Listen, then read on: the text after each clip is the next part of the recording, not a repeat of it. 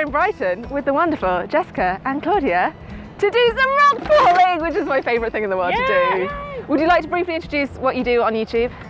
Uh, I have a YouTube channel where I talk about chronic illness, disabilities, and LGBTQ plus things in a kind of fun and friendly, educational, informal way. Great, Brief. Yeah. And I'm her sidekick wife. nice.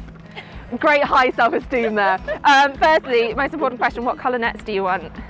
Uh, blue. Not yellow. Not red then. And these are the very fancy ones. I bought, I bought the expensive ones. Okay, so it was low tide a while ago, so we just need to keep an eye on the tides. It will be coming in, but let's just get going. yeah. Okay. I have no depth perception, so I can't tell how far away the rocks are, so. Well, if they're getting bigger, then you might be falling. yeah, yeah, yeah.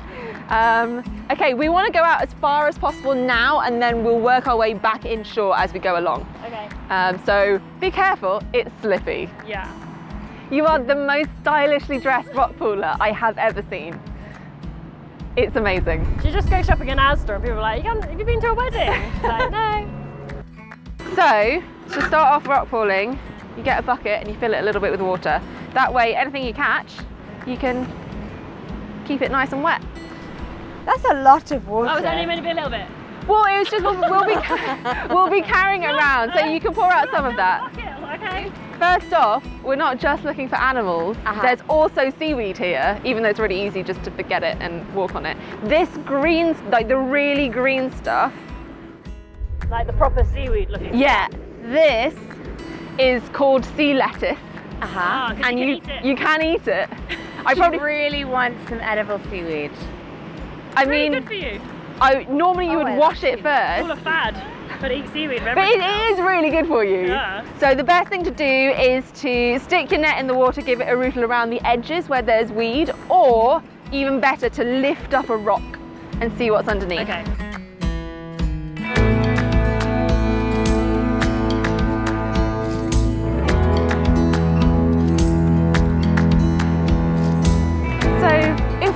Lift this up and there is something under there, I'll be very impressed because as the first rock, I doubt there will be much. Oh, oh, there's a brittle star. There are several. So you, so you can see like most ah. starfish, they have five arms. Yeah. But unlike most of the other starfish, brittle stars are really fast and they actually wriggle around quite a bit more. Oh, it looks like Mr. Ball Legs What's Mr. Ball Legs? from um, the Santa Clarita Diet on Netflix. Oh. You gotta watch it. Where's its head? Uh, so it doesn't have a centralized head as such. Um, so the the food, the ent- of the mouth, the anus is all in that central disc on the underside. Okay. Um, but each of these arms also has an awful lot of nerves, and if one breaks off, they can grow more ones. So yeah, first type of starfish.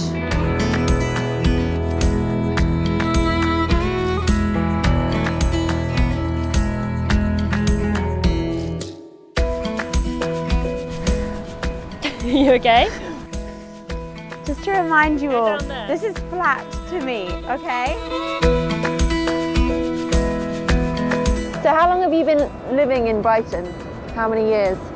10. Ten years. and years. in that time, have you ever been rock pooling? Never in Brighton. No. No, like, we went to Cornwall and went rock pooling. Yeah. Why didn't we go rock I don't know. We pooling in never, thought, we never thought that you could down here for some reason. I don't know. That's a hermit crab, I think.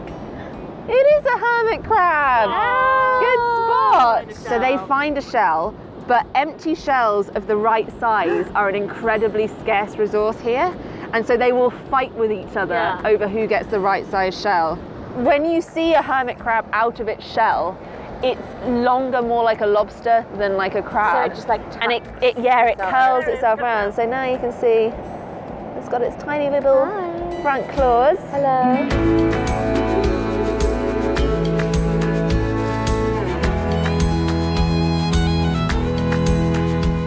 What did you find? It moved really quickly. Yeah, they always do. Gotcha. Oh wow! I've never seen one of these crabs Oh, before. there were like three of them there. It's a porcelain crab. They only grow about this big, and they you only find them on the underside of rocks, which is why I they're really it hard to spot. like we just dispersed their little family now. But They'll be fine, I'm sure. They're still wet, but good spot. yeah. Well done. High five. So, do you often go looking for nature? Yeah, we love them. Yeah? I like foraging mushrooms. Not so much wet nature, to be honest. Foraging mushrooms. You've got to be good at knowing your mushrooms in order to forage them. Well, I only pick the ones I know. You can hold this. There is a fish just there. So this is a sea scorpion, also known as a bullhead. Um, and it doesn't have a swim bladder, so it sinks when it's not swimming, a bit like sharks. Oh. that was a good one. that was a great one.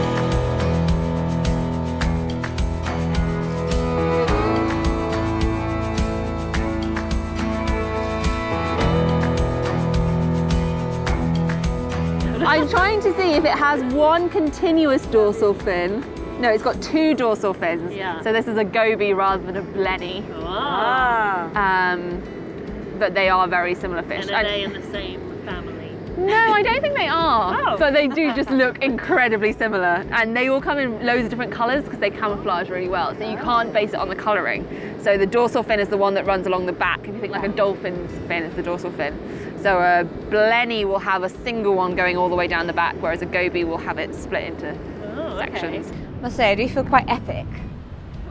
Like an adventurer.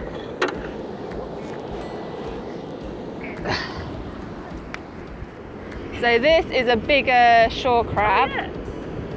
And this one is a female. Round So you can see how it's rounded with a little bit of a tip at the end. It's a pretty one. We should rename you Claudia the Crab Hunter. That's three different species now. My mushroom foraging training of Yeah. eyes or something. Got a knack for it.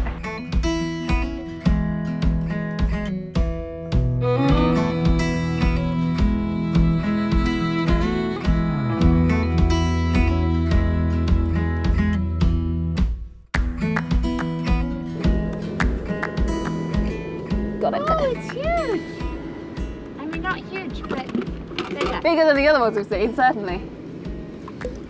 The trouble is they're quite jumpy prawns. Yeah. So, oh, amazing. You can see all the different legs. So they'll have about 10 to 14 pairs of legs, each one specialised for a different thing. Some of them are strictly speaking legs, some of them are like things that used to be legs that are now something different. So at the front you've got the ones The with, things that used to be legs Yeah. are now something different. yeah. So imagine you start off with 14 Sure. pairs, so 28. As you do. as you do. Um, but you think, actually, I don't need that many to walk. I could quite do with something to waft oxygen over my eggs um, so that they grow better. So you develop those. So that is a close relative of the barnacle. Ah. I know, they look nothing like each other. No. But imagine that stuck on its back, and then some of those legs that I was talking about get loads of feathery bits on them, and they waft out of the barnacle to catch filter feed. So, quick bring- question. yeah. Is a barnacle also tasty? Probably, but not worth the effort. Whoa, that is coming.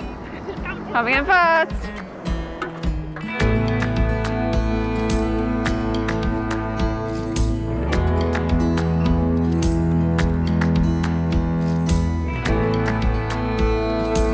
But yeah, I think we had a good haul. What was your favourite? Finding that big prawn. Yes, the massive prawn. Uh, the porcelain crab. Porcelain crab. I think that was my favourite too.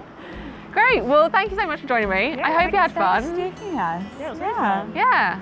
And uh, now, as a non-science person, you can go out and learn more about nature. Well, yeah, now we actually know more about rock pooling. And they are on your doorstep. They are. Put So- your finger in it sometimes. Yeah. Just get your hands mucky. Yeah. Cool. So thank you for joining and see you for another one. Can we keep the net? Are you going to say something? Yeah. Cool.